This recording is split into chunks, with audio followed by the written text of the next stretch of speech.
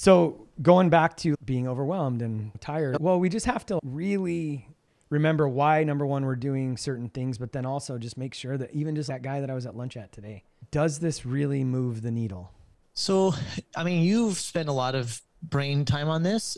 Do you have sort of a roadmap in your brain or you've mapped out? Because I think that there are probably things that can, should, and would be done, let's say in the next 12 months, that can be the foundational work. What are the things that should be done for the next 12 months? So, if you think about the ascension, so first off, my brain automatically wants to go to the high level group.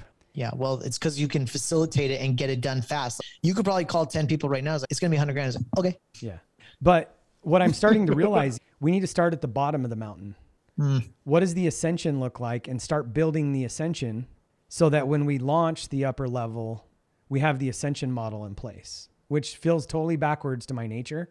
Let's get the real estate 101 and the business 101 course done so that that eliminates well it doesn't just eliminate it's a filter. So from from here forward as soon as i get my content coordinator on they're taking over like community the community texting instagram. We're, we're creating auto responses to the majority of the stuff. But anybody that says hey mike there's only there's really only two main ways that an average person that i don't know can get a call with me going forward at some stage and so the sooner you can build these buffers in the better we the faster we can get to the top of the ascension right because if i don't get these if i don't get these buffers built in now and we build a community of a thousand, two thousand, five thousand, we're really going to be overwhelmed. So if you want to pick my brain, I do a weekly show. Get your get your mindset unstuck and your finances flowing, and they have to fill out this form. And my team's going to vet it. But what do you want to achieve in 12 months? What is your current profession or business? What business goals do you have in mind? What's holding you back from the success? Qualifying questions. What's most important yeah. to you? New partnerships, business ventures, change the world, passive income. What's your current income? What's your current net worth?